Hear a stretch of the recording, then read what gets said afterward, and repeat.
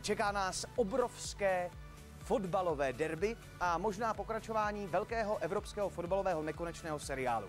Jak to aktuálně vypadá v Madridu, nám prozradí muž, který atmosféru madridského derby zažil na vlastní kůži. Zdravíme takhle na dálku našeho spolupracovníka, který je v Madridu na stadionu Vicenta Calderoneho, Tomáše Ujfalušiho. Tak jak se prožívá derby přímo ve španělské metropoli? V Madridu se žije, eh, řekl bych, velice, eh, velice krásně, protože eh, je tady spoustu slunečných dnů, takže člověk si to počasí užívá, je to navíc je to krásné město, takže já jsem, já jsem byl maximálně spokojený. Rivalita určitě funguje, ale já si myslím, že spíš jako na, té, na tom hřišti, protože tak by to podle mě mělo být, ale každopádně já jsem měl možnost, vlastně bydleli jsme v podstatě vedle sebe, ať to byl Ronaldo nebo Benzema, já vlastně se Simájem, a ne, že bychom se vyloženě stýkali, ale když se potkáme v restauraci nebo když jsme se potkali někde v baru, tak jsme normálně se pozdravili, prohodili pár slov, takže si myslím nějaká velká rivalita, to spíš mezi fanouškama.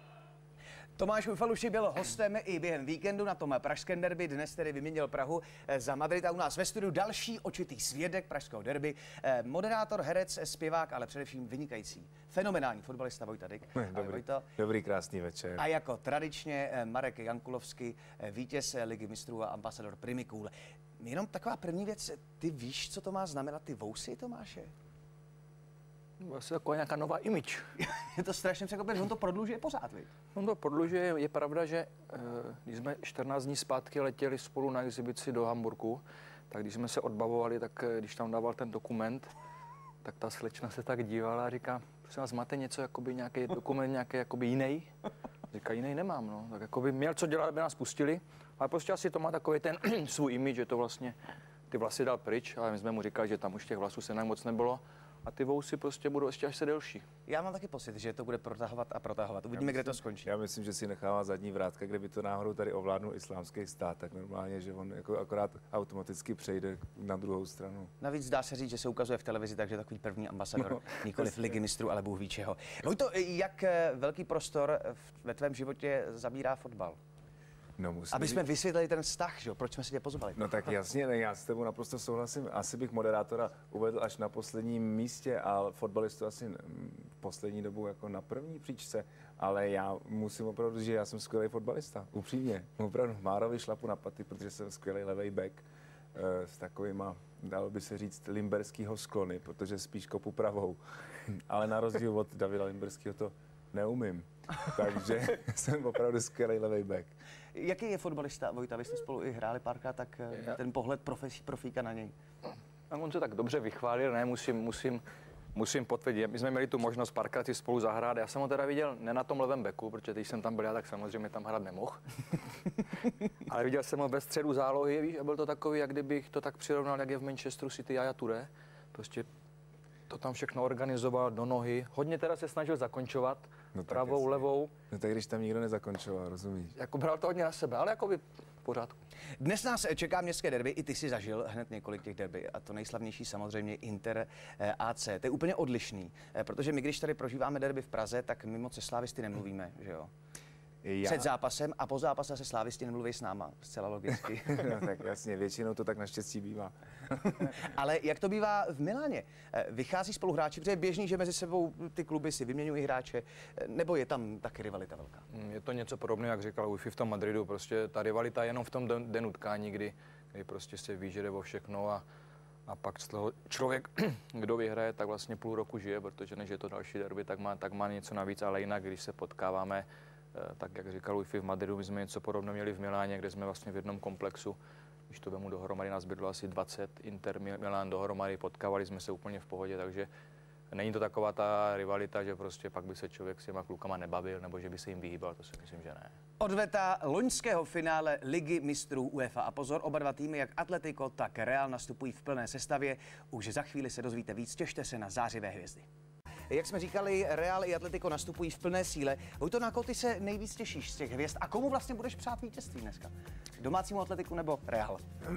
No, já upřímně mám v oblibě hráče Modriče, který je prostě hrozně něčím sympatický, protože na mě působí velmi skromně, i když jsme se dlouho neviděli, ale eh, jinak jako na hřišti velmi sebevědomě, což já mám rád. Jako. Takže na, na Modriče se těším já a pravděpodobně bych to já to nikomu nepřeju. Já vlastně jsem velmi v tomhle tom nestranej a proto se na to těším. Na koho ty se nejvíc těšíš? Skutečně Real po dlouhé době v absolutně plné sestavě.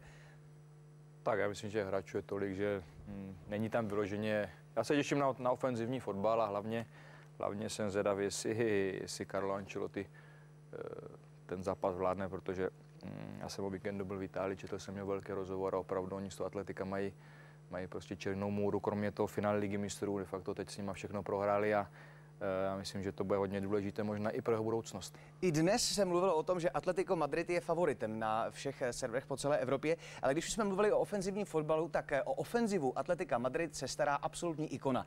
Fernando Torres, ten se po evropské cestě vrátil domů a my jsme se zeptali Tomáše Ujfalušiho, jak je vnímán Fernando Torres právě u fanoušků Atletika. Eh, je to ikona, je to opravdu ikona, protože už jenom to, že v 19 letech se stal kapitánem takového týmu, jako je Atletico Madrid, tak eh, to si myslím, že už mluví samo za sebe.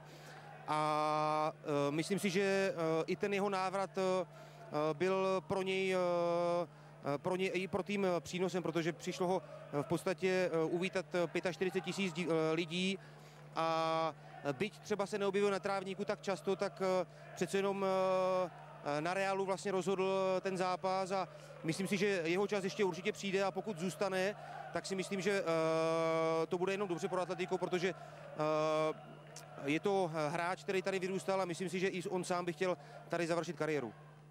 Stoprocentně zdravý Mario Mandžukič nahradil Fernanda Torrese, ten opět bude startovat z lavičky, ale skutečně eh, může i klidně rozhodnout. V čem to je, že Atletico eh, nedokázalo porazit, tedy nedokázalo eh, podlehnout Realu Madrid, že je dominantní v té letošní sezóně nad Realem? Těžko, těžko takhle říct, protože podle mě Real, Real, když se podívám na ty hráče, tak má o něco kvalitnější kádr, ale prostě to derby potom, tam vlastně vždycky se říká, že to derby nemá favorita a Atletico prostě na ně umí a, a Diego Simone to umí, umí ten mančav natolik připravit, že prostě opravdu asi ten hráč, když proti ním nastupuje, tak uh, tolik si nevěří. Vy jste měli třeba v AC Milan nějaký podobný tým, že jsi říkal, to bude nebezpečný, i když jste byli papírovým favoritem vždycky?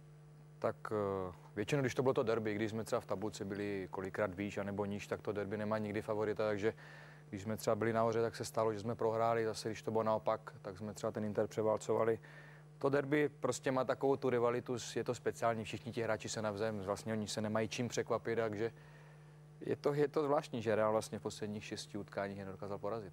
Probírali jsme Luku Modriče, kdo se ti nejvíc líbí v týmu Atletika. A co je to kouzlo, které Atletico má, že teď je ve čtvrtfinále, stejně jako v loni stojí proti velkému španělskému klubu, v loni to byla Barcelona, letos Real.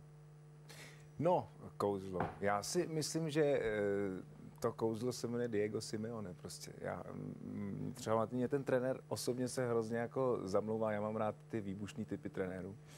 A myslím si, že vlastně s jeho příchodem to Atletico nějakým způsobem šlo nahoru. A za, prvé, za druhé, mm, mám rád kluby, který velmi dobře pracují s mládeží, což Atletico pracuje. Takže mm, to si myslím, že to je hlavní kouzlo Diego Simeone.